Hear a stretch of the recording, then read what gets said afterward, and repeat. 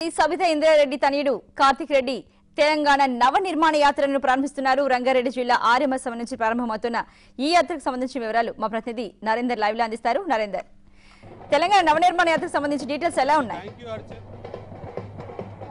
Thank you Archana. మాజీ హోంమంత్రి తనయుడు కార్తీక రెడ్డి రాజకీయ రంగ ప్రవేశం పూర్తిగా చేయడానికి ముహూర్తం ఖరారు అయింది. అదేవిధంగా మనం రాజేంద్ర నగర్ పరిధిలోని ఆరా మైసమ్మ దేవాలయం నుంచి ఈ పాదయాత్ర ప్రారంభిస్తారు. అదేవిధంగా ఆ, రెడ్డి గత కొన్ని రోజులుగా ఏదైతే పార్లమెంట్ అసెంబ్లీ అసెంబ్లీలో స్థానంలో కాకుండా మొత్తం అంటే పార్లమెంట్ తన చేవెళ్ళ పరిధిలో మొత్తం దాదాపు ఐదు అసెంబ్లీ సెగ్మెంట్లో ఇతని పాదయాత్ర కొనసాగుతుంది. దాదాపు ఐదు రోజుల పాటు కార్తీక్ రెడ్డి పాదయాత్ర చేశారు మొత్తం వంద కిలోమీటర్ల మేర పాదయాత్రను ప్రణాళికను రూ రూపొందించుకొని చెప్పుకోవచ్చు. మనం ప్రజెంట్ విజువల్ చూసుకోవచ్చు భారీగా కాంగ్రెస్ కార్యకర్తలు కావచ్చు సబితా ఇంద్రారెడ్డి అభిమానులు కావచ్చు కార్తీక్ అనుచరులు కావచ్చు పెద్ద ఎత్తున ఆర్ఎంఐసమ్మ టెంపుల్ వద్దకు చేరుకున్నారు.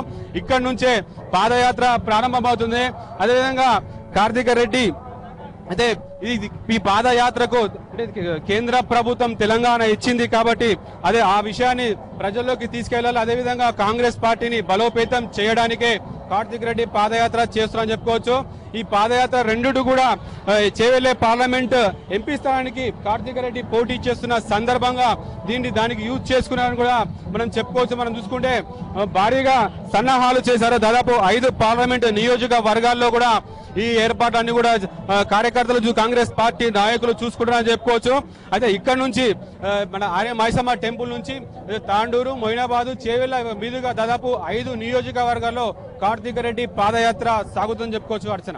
Thank you very much Narender